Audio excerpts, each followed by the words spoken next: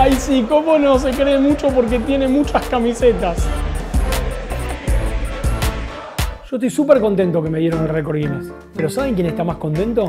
La gente de Adidas, la gente que estampa, porque yo sigo gastando plata en este vicio. La camiseta con la que empezó todo fue este modelo. ¿Sí? Ni siquiera es titular, como ven, es negra. Me había encantado, como les contaba.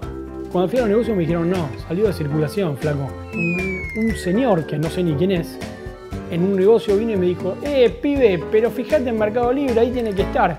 Yo nunca había entrado en Mercado Libre en mi vida. Imagínense eso. Y de repente me meto en Mercado Libre y empiezo a ver que hay todo un mercado de camisetas que yo no conocía.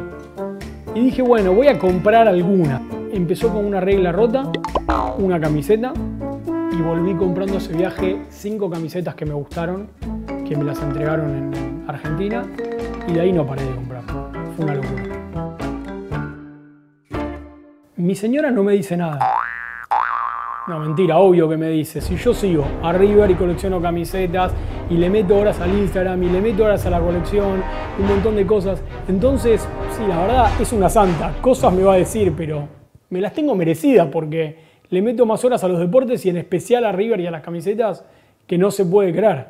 Además, yo voy caminando por la casa y, claro, no le voy a cantar a la a Rorró mi niña. Le canto Vamos River, ponga vamos millonario. Y mi esposa dice, ¿ves te das cuenta de lo que le cantás a la nena? Podés cantarla como suave porque en lugar de dormir, la excitás.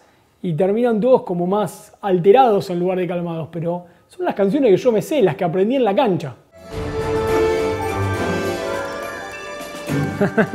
si me estafaron alguna vez con alguna camiseta, si alguien que es coleccionista te dice que no lo estafaron por lo menos cinco veces, yo no le creo que está coleccionando bien.